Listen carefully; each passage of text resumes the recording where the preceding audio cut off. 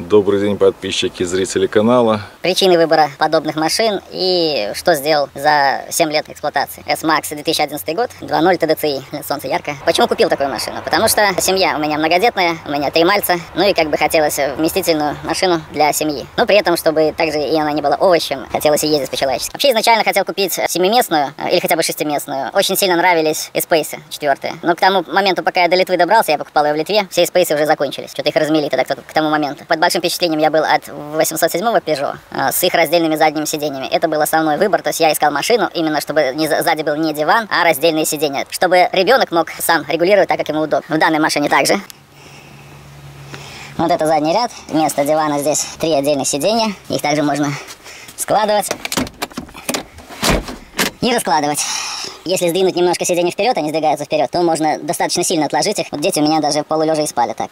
Вот я центральное сиденье отложил на максимум, то есть здесь достаточно неплохо можно разместиться. Все сиденья складываются в уровень, но получается здесь сантиметров 11 ступенька. Пришлось, ездили мы и в Крым, и в Казань, пришлось вот доколхозить из, сделать щит из USB на трех брусках, и теперь э, потом выкладывается матраса какого-то, и вот все нормально, дети ложатся и всю дорогу едут лежа. Либо просто, когда останавливаемся, спят. Приехав в Вильнюс, э, спейсов не было, Citroёны, Peugeot были достаточно сильно усажены, ну там же много этих торгов, э, продавцов там много. Одна площадка торговая, у нее были чистые салоны и грязные двигатели. Можно было определить по двигателю его состояние подтек и прочее. Но S-Max, э, я даже не знал, что такие машины есть, и увидел я его уже в Литве. Ну и на фоне всего остального, что продавалось, S-Max очень понравился, цвет понравился, двигатель понравился. Я хотел именно двухлитровый двигатель дизельный, чтобы не овощем кататься, а можно было, чтобы нажать на гашетку и поехать. По машине, что у нас купил ее в 15 году, в феврале 15 года, что случается за 7 лет, уже 7 лет эксплуатации было у меня. Обслуживание у нее, конечно, не дешевое. Первое, что у меня подшипник ступичный, или, ну, короче, подшипник сборе в колесе. Помню сначала правое колесо, потом правое заднее, потом через время, то есть, ну, ну в течение там не то, что это весь, а я не говорю, что это все разом было. Это в течение там года, двух, то есть а, год прошел, следующий, год прошел, следующий. Заказал подшипник, и не глядя установили мы его. И шпильки на ступице были М12, а гайки у меня М14. А мы его уже установили. Продавец за свой счет нам новые болты привез. Ну, как бы на этом мы и закончили. Но, так как это был подшипник оказался все-таки не от этой машины, подшипник выходил, наверное, месяцев 12. 5 завыл. Решил я попытаться сэкономить. В Беларуси есть э, компания Fenox. Fenox, Fenox, белорусско-немецкий концерн, производит также эти подшипники. Первый подшипник обошелся мне со шпильками на М12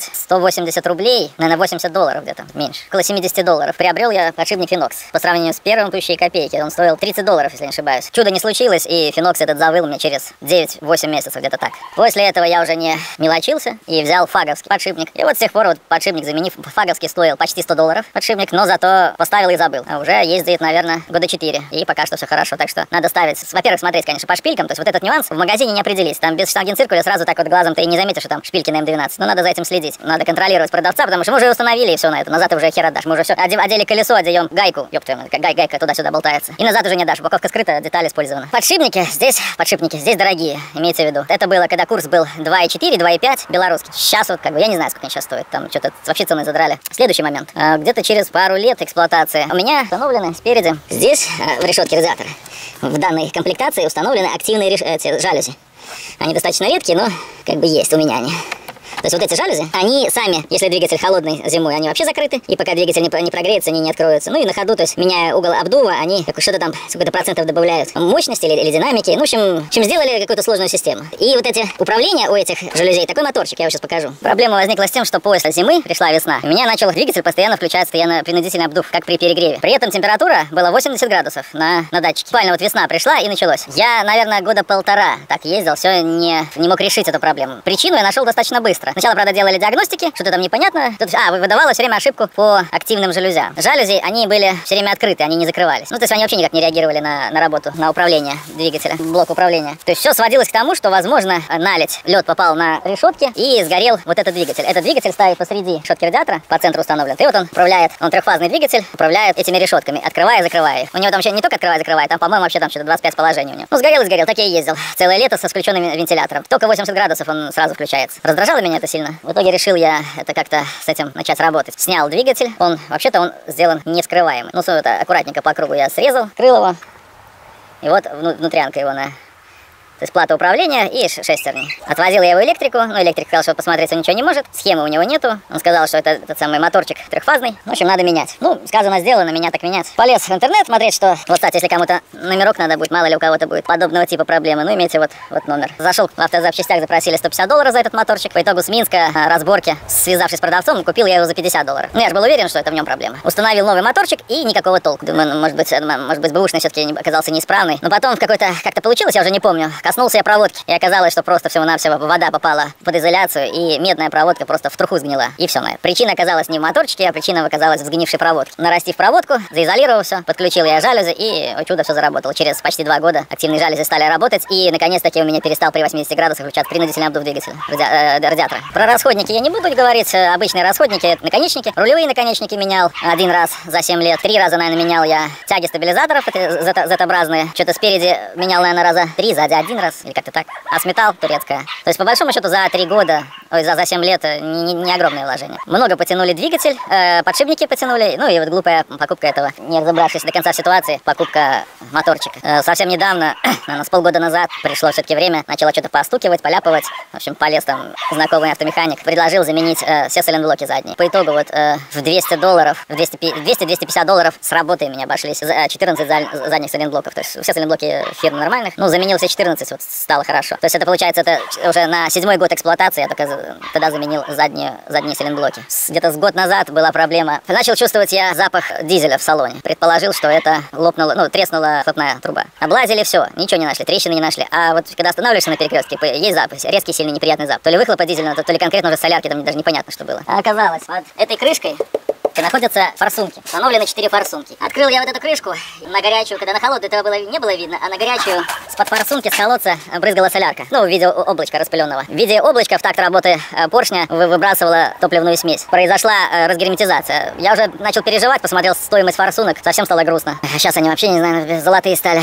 Автомеханик взялся, выковыривал это кокс, растворитель просто в колодец заливал, потом все это вычищал, вычищал, убирался. По итогу просто медная прокладка, она вообще казалась, может быть, там уже кто-то до этого что-то делал, как будто не, не заводская. И прижималась она не всей площадью, а прижималась там, с одной стороны, было прижатие где-то 4 миллиметра условно на прокладке, на медной, а со, той, где начала пропускать, там миллиметр-полтора, то есть не полное прижатие зеркала. То есть она какое-то время, получается, наработала, но рано или поздно от вибрации, от всего время ничего не, щадит. Прокладка просто износилась, дело стало тоньше и стала пропускать. После этого появились небольшие проблемки. Проблемки оказались в масложоре. Масложор не сильный, но если раньше на 13 тысяч я максимум, что я с масле матюль, я отъезжал 13 тысяч, не, не было, 50 грамм даже не добавлял масла, то сейчас где-то на 10 тысяч у меня появился масложор, может быть, грамм в 200. То есть получается, что из-за того, что топливо не до конца сгорало, кольца поршни залегли, ну или закоксовались. Не знаю, пройдет оно само или, или залить раскоксовка туда. Ну, пока что масложор не слишком большой. Проблема устранена. То есть, ну, проехал я уже после этого полгода. А вообще двигатель этот масло вообще не ест. По деньгам он, в принципе, не обошелся мне там ничего, ну, кроме работы автомеханика. Отделался, получается, легким испугом. Где-то года через три, наверное, у меня лопнула пружина, по-моему, за, сзади или спереди. Я даже не помню. То есть, эта машина не слишком бьет по карману. Ну, конечно, когда подшипники э, менял, дороговато было, но пружины как-то не очень дорого. По-моему, я даже забыл уже, что, скорее всего, я менял передние пружины и менял точно передние стойки. За 7 лет э, подшипники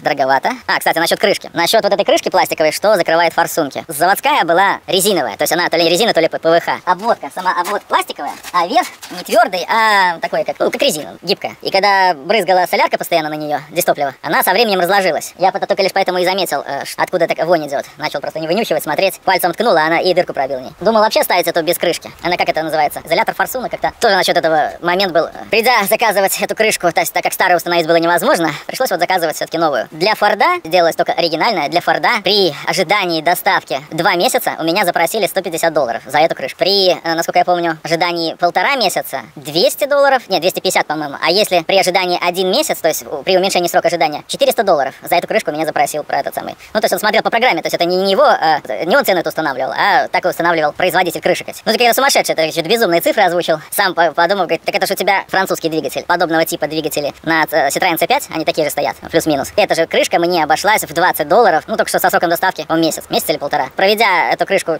по аналогам, вот она установилась, и но она пришла только что, отли отличие от оригинальной фордовской, что у нее верх не мягкий, а твердый. Здесь просто вот эта крышка, она полностью из э, твердого пластика сделана. Абсурд по ценам, конечно, вот насчет этого интересно.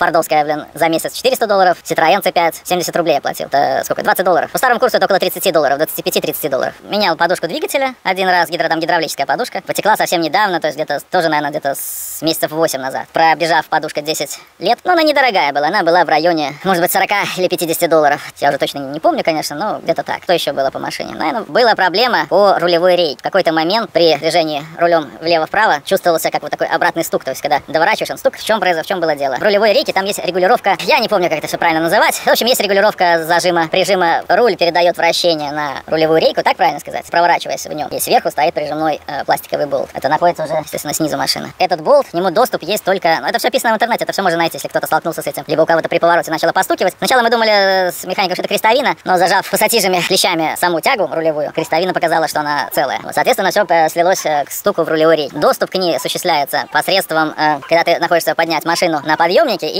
получается, под водителем ты находишься. Можно увидеть, там будет, если я не ошибаюсь, зеленого цвета болт, а сверху на него наклеен пластиковый фиксатор красного типа, колечко такое с двумя по, по, по бокам выступами, которые в пазы вставляются. Сняв эту, э, этот фиксатор, мы чуть-чуть поджали э, с механиком. Я постукивал, рулем крутил, а он поджимал и слушал. Поджав этот регулировочный винт пластиковый, мы добились того, что эти стуки исчезли. Фиксатор я оставил у себя, а и ездил после этого, потому что в интернете было описано, что ставить его на место не обязательно. Через полгода стуки начали опять происходить. Говорю механику, может быть, болт расслабляется. Да нет, не может быть. Ну ладно, заехали опять, поджали, проездил еще, наверное, 6-7 месяцев, опять появились стуки. Еще раз поджали, причем э, говорит, довольно сильно поджимал, полностью, чтобы стуки исчезли. Все-таки мы установили этот пластиковый фиксатор на суперклей назад, и вот уже два года, как минимум два, может быть, два с половиной, стуков нет. Все-таки надо фиксатор устанавливать на место, потому что от вибрации, от того, от всего, он постепенно начинает, так как фиксации на нем нету, он начинает постепенно болт этот откручиваться пластиковый. Он, по-моему, ставя у него четырехгранная головка. Постепенно он начинает откручиваться, и то есть его надо фиксировать. Как ни крути, фиксировать надо. Был у меня нюанс, здесь реализован в машине э, бесключевой доступ. Заменить батарейку целая проблема вот в этом ключе. Реальная проблема. Кто вот у кого подобного типа есть ключи или такой, такой конкретно ключ. Ну беда, то есть, блин, подсунуть нож как-то отковырять, чтобы батарейку достать, беда. И вторая проблема это вот установленный внутри ключ. Крайне неудобно. Ключ не выкидушка, просто вынимается. Возможно, может вот так надо делать, не знаю. Ну, из-за боязни сломать брелок, вставляешь его в замочную скважину, то есть провернуть очень, прям пальцем больно. Как-то непонятно они это сделали. И какой нюанс был? Из-за того, что это дизель, дизель плохо греется. Зимой поначалу, до того, когда я еще определился с алгоритмом, как прогревать машину, я зимой поначалу мало использовал обдув, обогрев салона. Рукавички, это самое, шапочка и поехал. Только когда уже долго едешь, тогда я включал. То есть очень часто у меня вообще был выключен обдув, чтобы вот э, сберечь тепло для двигателя, чтобы износ двигателя был меньше. Ну чего я этим достиг? Этим достиг я того, что у меня в панели собрался конденсат и закоротила систему бесключевого доступа. В один прекрасный момент я прихожу к машине, за ручку дерг и хрен, машина не открывается. Вставил ключ, провернул, открыл машину, сел за руль заводить, у меня кнопка не заводится. Вот кнопочка, она постоянно э, заводится с кнопки, выжил сцепление, завожу с кнопки. Но, то есть, получается, когда очень... Система вообще очень удобная по поводу бесключевого доступа. Я вообще не залажу никогда в карман. Он у меня лежит ключик в кармане, и здесь, получается, установлены антенны. Они отслеживают местонахождение ключа. Если даже я вот забывал ключ, забудешь его в салоне, выходишь с машины на, на ручке двери, нажимаешь кнопку, чтобы закрыть шину, не закрывается. Ключ находится внутри, машина не закрывается. Очень удобно, так бы закрыл бы вместе с ключом. Перестала работать система бесключевого доступа. Что делать? Как машину завести? На работу надо ехать срочно. В этом инструкции это как-то я не нашел ничего, нигде ни нюансов этих. А в итоге оказалось, что даже при нерабочем бесключевом доступе доступе есть дырка замка зажигания. Ключик как раз подходит под, этот, под это отверстие крышки замка. Открываем.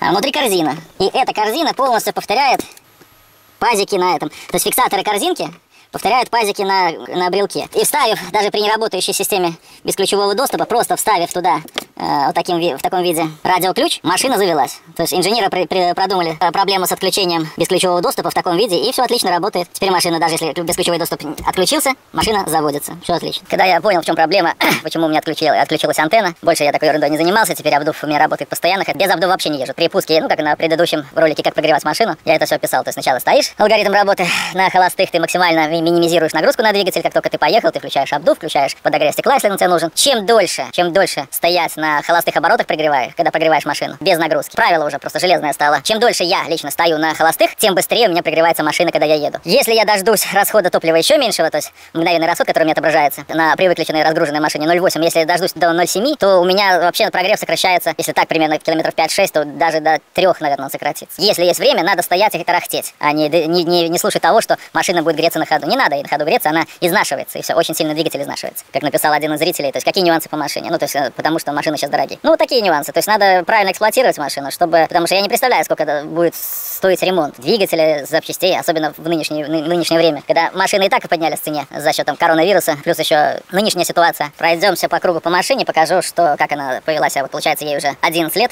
как она выглядит. Так, по двигателю сказал. Заменил гидравлическую подушку под крышкой форсунки. Э, Поменяли прокладку в этой форсунке, и сама крышка стала твердой. Двигатель француз, аналог DV10 ATET. Этой маркировки я уже не помню этого двигателя. Вместо одного распредвала здесь стоят два. Так, аккумулятор уже менял один раз. Менял после того, как пригнал с Литвы. Аккумулятор через несколько месяцев умер. Ну, вот с тех пор э, стоит уже какой-то барон, по-моему. Про- Прожали здесь сказал. Так, что у нас тут? Цвет в этой машины Parkside. Как его определить? Вот бесключевой доступ кнопочка. Проблема есть такая, что пескоструются вот эти части э, выступающие. Я уже подкрашивал этим лаком таким, что для замазки, но все равно. Есть нюансы по аркам, тоже подкрашивал, но как бы есть налетик. Диски родные. А, вот задний бампер. Задний бампер где-то с год назад в Витебске ехал и остановился пропускать девочку на пешеходном переходе. Ну, пешехода. И меня придурок на Хонде въехал. Причем так здорово ехал я. Вот, вот поцарапал. Вот. Благо, прицепную я отработала. Ну, то есть он, получается, своими лонжеронами пробил мне просто бампер. Ну, вот опять же, это места пескоструйные. Вторая кнопочка без ключевого доступа. Вот задний щит, хлам, который вожу с собой. Был момент, что у меня вот это место, оно битое. Ездили мы в 16 году в Крым. Вот, и местный пьяница усадил меня на машине, не при вы- выезжал.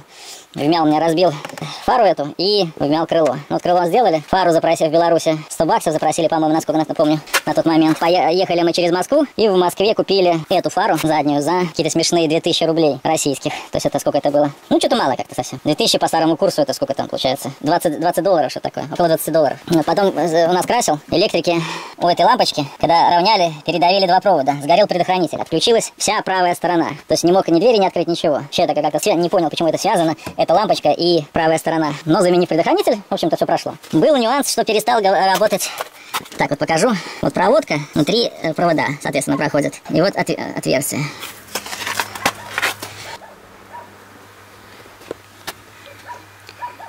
Кнопочка.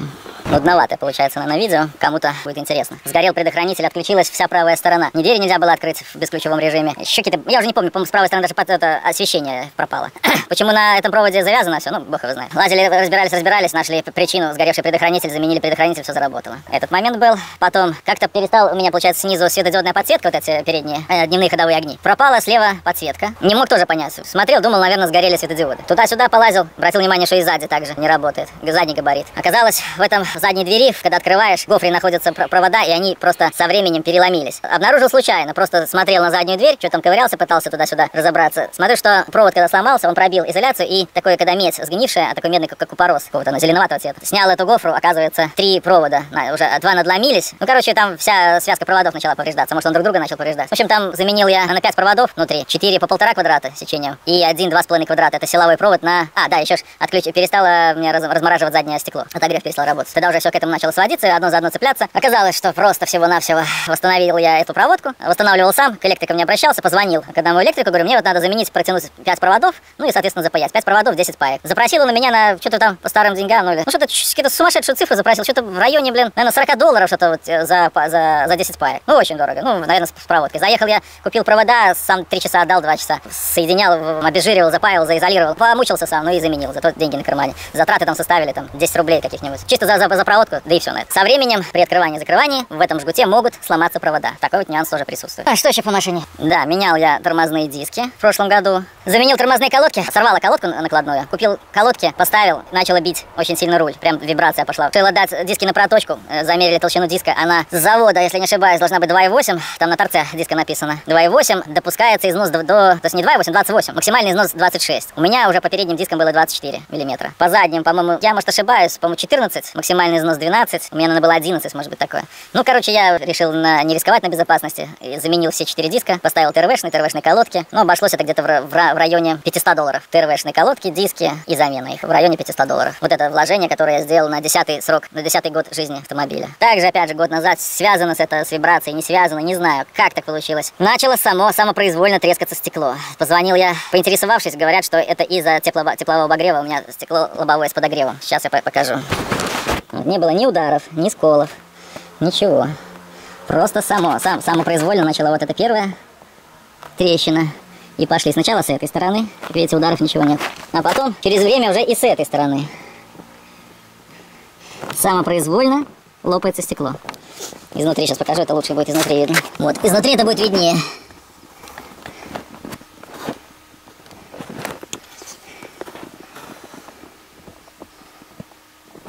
Вот, стекло самопроизвольно начало трескаться. Вначале там, когда появилась первая трещина, я сразу подъехал к стекольщикам, мы засверлили там, ну и толку этого не было, потому что все равно пошли другие трещины. Кто-то сказал, один из стекольщика сказал, что это из-за теплового обогрева на лобовом стекле. Сеточка это, ну, она очень удобная, конечно. Кто-то сказал, что, возможно, высох э, герметик, стекло начало сильно опираться. Там по стойкам есть 6, как он сказал, 6 точек. И со временем, получается, герметик усыхает, стекло начинает опираться на эти точки, а остекление большое дает трещину. Хотел поставить европейское Пилкинтон. Там оно есть зеленое, есть синее. Синее с этим, с ИР. Значки стоят, это значит оно антибликовое, а термальное, термальное стекло. Ну, там что-то вообще сумасшедшее. Сейчас я не знаю, сколько сейчас. А, и просто и в продаже. Как корона, коронавирус пришел, у нас исчезло стекло с продажи. Ну, в общем, заказал китайское с подогревом зеленое. Ну, посмотрим, как будет. Здесь датчик дождя, как он будет реагировать на это стекло, даже не знаю. Ну, вообще говорят, что это проблема у S-Max. То есть S-Max и то ли из-за площади остекления, то ли из-за подогрева. Бывает такое, что стекло самопроизвольно трескается.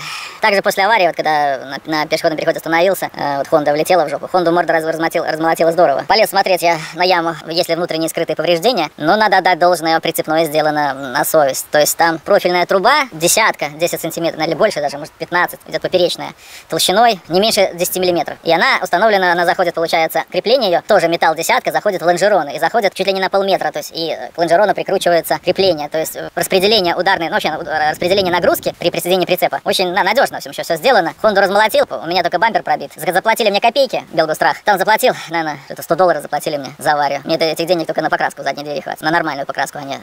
За, замена бампера. Посмотрел я бэушные бампера, так они хуже, чем мой. Феном подровнял, надо, просто руки не дошли. Феном, э, пластик там неплохой. Если феном, феном строительно нагревать, то можно его запаять. Здесь топливная система Delphi. В свое время это топливная система, по-моему, на Space, не Space, а этих, на сцениках, сцениках. На каком-то из сцеников Delphi стояла там крайне капризная система, там проворачивала вкладыши, там, в общем, целая беда. То есть, если стружка шла, замена форсунок. Ну, Delphi, короче, мне тут товарищ один 2500 долларов за ремонт отдал машины. Ну, в данном случае Delphi прекрасно себя ведет. С завода по паспорту она идет 115 лошадей. Машины э, выпускались с двумя типами прошивок. Они ничем друг от друга не отличаются, только одна шла 115 и 163 лошади. В 2016 году меня все напрягало, что вот, короче, я ездил 16, 16 клапанов, а машина какая такая вялая. Поначалу ездить было не сильно приятно. Я пересел на нее с 406 пыжика, там такой же двигатель, только восьмиклапанник. Одно и то же, что там, что там. Как-то, ну, хотелось какого-то развития. Ну, начал я мониторить эту проблему, узнал, что, оказывается, две типа, два типа прошивок есть. Э, проблем с заменой нету. То есть это не, не чип-тюнинг, где еще можно выше поднять, а это разработанное с заводом Ford программное обеспечение замена. Обратился я в Минске на Ford Боровая, по-моему, там. Боровая 5, что такое, я не помню. За 80 долларов фордовскую родную прошивку от машины 163 лошадки. Ну, плюс там еще какое-то перепрограммирование было. То есть заменили одну штатную на вторую штатную прошивку. Ну, машина, конечно, жила. А жила, ну, не то слово. Наконец-таки 16 клапанов заработали два распредвала. Машина задышала, полетела. Ездили мы после этого в Крым. Я просто в восторге был от этой машины теперь уже. И до сих пор остаюсь. На что еще по ней сделал? Это в этой машине реализован прожиг фаб-фильтра с помощью дистоплива. То есть не Йолис, а дистоплива. Стояла форсунка, которая увеличивала температуру сжигания. Э, датчик определял перепад давления. Ну, в общем, в общем я, у меня машина прожигалась каждые 250 километров примерно. Такая система неудачная, неудобная. То есть получается, что ты едешь, она начинает прожигаться. То есть повышается расход, машина становится ватной. Если ты приезжаешь, она может быть, вот ты э, дорогу все ехал нормально. Приезжаешь домой, включается прожиг. А прожиг нужно обязательно, желательно довести до конца. То есть ты приезжаешь, она начинает стоит, у нее расход там 2,5 литра, она себя прожигает, то есть раскаляет этот FAP -фильтр. Если отключишь, вот была проблема зимой, проворонишь, что она у тебя э, прожиг включила, заглушишь.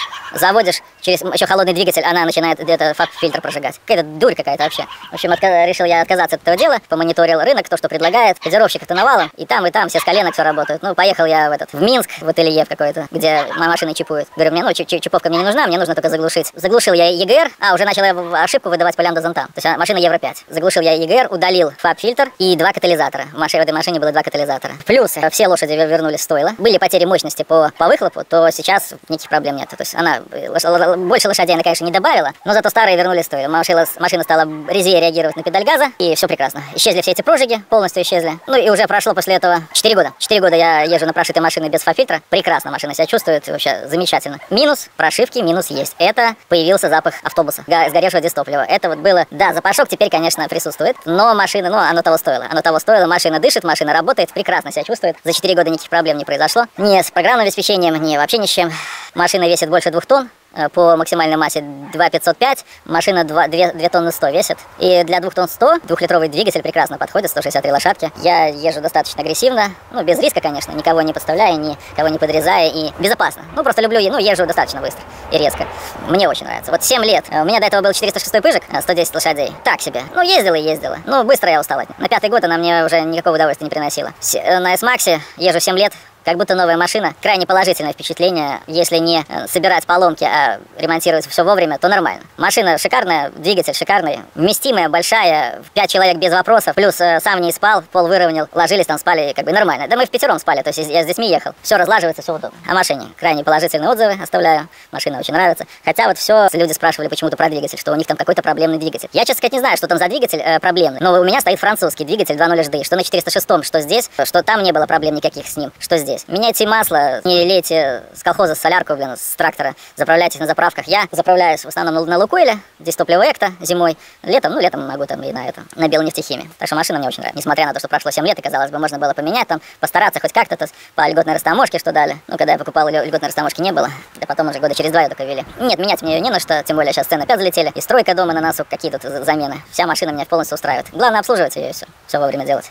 Масло стараюсь менять через 10 тысяч, жидкости по паспорту, то есть там антифриз через 5 лет, тормозную через год-два. Все, что я назвала, все эти вложения, казалось бы, их, да, очень много, но они за 7 лет, то есть это не так и много. Любая машина ломается, любую машину требует, надо обслуживать. Тем более, когда ты покупаешь машину бэушную. Сейчас замена стекла лобового. А, еще после ДТП кнопка перестала работать задняя. Нарушилась герметизация, попала сырость вовнутрь, кнопка стала твердой. Невозможно было открыть багажник. Потом пришла оттепель, кнопка отогрелась, замкнула контакты, и у меня на ходу, ну, не открывался, а срабатывала концевик, э, замок открывался. И машина сигнализировала о том, что у меня открыт багажник. По-моему, за, за 5-7 долларов с Минска с доставкой привезли бэушную кнопку, поставил ее, ну, так что замена, конечно, такая сложная весьма. Поставил новую кнопку и все на это. Ну, не новую, а бэушную, и проблема пропала с этой кнопкой. Да, добавлю еще двигателю. Крайне экономичный двигатель. При скорости 100 км в час средний расход составляет на 200 км, вот я проезжал, средний расход 4,5 литра при, на круизе контроля. 4,5, 4,4 литра зимой, в зимних условиях. Самая экономичная скорость, там же у меня механическая коробка передач, передач ММТ6. Пятая передача честно говоря, ни о чем, диапазон очень маленький, от 70 до 80 км в час она используется. Но если дорога плохая или либо не торопишься, выставляю на круизе 73 км в час, расход меньше 4 литров. При всей мощности, приемистости двигателя, то есть подхватывает на ура, прекрасный расход дистоплива. После перепрошивки, когда э, закинули когда заводскую прошивку, 163 лошади, расход упал почти на литр. То есть если в среднем был расход у меня по городу 6,5-7 литров, то сейчас э, летом, то сейчас летом у меня бортовой компьютер показывает 5,5, 5,6. Если в, это, в овощном режиме ездить, то расход, я думаю, по городу до 5 литров может упасть. Ну, не до 5, ну 5,3 там может каких-то выдаст. 5, до 5,5. После удаления фаб-фильтра расход, в принципе, не упал. Может, упал там на одну десятку, ну, на две. Ну, я, ну, как бы я не заметил. Ну, машина просто стала резче реагировать на педаль газа. Если сравнивать с французом, с 406-м Peugeot, который у меня был в универсале, это небо и земля. Эта машина, конечно, ну, блин, даже рядом не стояла, она далеко впереди находится. 406-й Пыжик тоже устраивал, но, блин, такой нежный. У него подвеска, по каждые полгода надо что-то делать. Э, тяги, наконечники, блин, все, все, блин, там настолько такое нежненькое, все такое хлипенькое, как девочка какая-то, блин, нетренированная. Постоянные постоянные вложения, постоянно в, в гараж-сервис подъезжаешь там на замену того, того, того. Ну, крайне такая хлипенькая машинка была, вот эта 406 Peugeot. В сравнении с Фордом, небо и земля, Форд это такой уже серьезная машина. Да, вот то самое, что мне не понравилось, это, конечно, очень дорогие подшипники. Последние замены, точнее, с первой замены, там, где финок ставил, уже прошло года 4, 5, 4, 4, тогда около, около 4 лет прошло, не 5. Ну, до сих пор же езжу нормально. За довершение скажу, когда купил машину, а, денег вообще было в долги влез вообще в страшные, там, чуть-чуть пережили период тяжелый этот. А надо было на чем-то ездить, зимняя резина в комплекте нормальная пришла. Купил туда резину Ван Ли, тайскую. Блин, такое говно. За первый год оно износилось так, оно имеет неравномерный износ. Здесь размеры колес R17, 225 на 250. Купил Ван Ли, поставил, самую, что нашел, там дешевая какая-то была, 4 колеса. Так она износилась неравномерно, то есть волнообразно. И получилось, как вроде бы по асфальту только ездил через время, как на этой самой, как на, как по рифленке едешь. На большой скорости вибрация по машине шла, потом за копейки продал и отдал человеку и все. Ну, короче, Ван Ли вообще отвратительная резина. После этого купил белку, белшину. Art Motion 250 не было, 225 на 45. Э, резина нормальная, мне понравилась, хорошая резина. Особенно гарантия мне понравилась. Гарантия вообще шикарная. То есть, э, получается, на весной я ее поставил, сезон ездил до осени. Снимаю колеса, смотрю, такие круговые трещины идут по по боковой части, особенно больше с внутренней стороны почему-то. Отдаю ее на рекламацию. Мне ее рассматривают, два месяца проходят, привозят новые четыре колеса. И, в общем, таким макаром я, наверное, ну, чтобы не соврать, три сезона летних отъездил. Э, гарантия у них там год, по-моему. К сожалению, я бы так и так ездил, мне как бы нравилось, мне все устраивало, все время на новой резине. Потом они, заразы, Велшина сняли с производства. 225 на 45 э, была снята с, производства, и мне э, там с учетом какого-то износа, там, даже не полностью, ну, короче, вернули мне деньги. Честно сказать, не был я рад этим деньгам, потому что мне устраивало, что я каждый, каждый, каждый сезон на новой резине ездил, и хранить ее не надо было, потом просто ее сдаешь и через время новые получаешь. За прошлое лето купил новые, получается, когда уже Белшина откатала, пил кармаран. Летняя резина, она сепская, по-моему. Не советую, вот это кармаран не советую вообще. За сезон сезон стерлась вся. Не знаю, что из чего она там сделана, блин. Э, уже наши на монтаже снимали, сказали, на второй сезон ее не хватит. Ну, деваться некуда, буду потихоньку ездить. Да, уже в ноль съезжать. Ну, вот уже, то есть, говорит, в начале еще можно поездить, до конца сезона вы не доездите. Если есть вопросы по машине, задавайте. Постараюсь на все ответить. А, в довершении по скрипту. Впереди стоит радиатор. Радиатор кондиционера. Выскочила клипса с проводом. Такая клипса пластиковая. И потихонечку-потихонечку такая сволочь, э, я бы в жизни не мог догадаться, радиатор алюминиевый. И она мне, блин, зараза, перетерла трубку. И у меня в прошлый, за прошлую зиму кондиционер, пришла весна, жарко и жарко. Думаю, что за. Подъехал заправить, думал, давление, может, прошло. Две дырки в радиаторе, то есть пластиковые клипсы, потихонечку от вибрации перетерла трубочку и вышел, вышел воздух. Фреон выше. Э, новый кондиционер, э, радиатор 250 рублей что-то там, то есть 100 долларов по тем деньгам. И плюс еще работа. По, по итогу за меня за 30 долларов запаяли и заправили. А не, вру, больше. За 50 долларов запаяли и заправили. За все где-то 50 долларов я отдал. С заправкой с опрессовкой. Также насчет кондиционера, как оказалось, что нельзя выключать кондиционер вообще. Если кто не знал, то знаете, что оказывается в кондиционере вместе с фреоном, это агрессивная жидкость, присутствует масло. Это масло также защищает э, алюминиевые трубки кондиционера. И когда мы на зиму отключаем кондиционер, якобы за ненадобностью, соответственно, компрессор не работает, и масло начинает стекать. А фреон агрессивный и начинает разъедать трубки. Так что вот имейте в виду, что кондиционер должен быть постоянно включен. Просто зимой он автоматически не включается, оценивая э, внешнюю температуру. Но при пуске он, как бы, получается, там прогнал и выключился. По крайней мере, у меня так. Потому не выключайте на зиму кондиционер. У меня кондиционер на автоматическом режиме постоянно включен. Пока на улице холодно, и он не работает. Когда становится жарко, он автоматически уже дает, регулирует температуру. Всем мира и добра.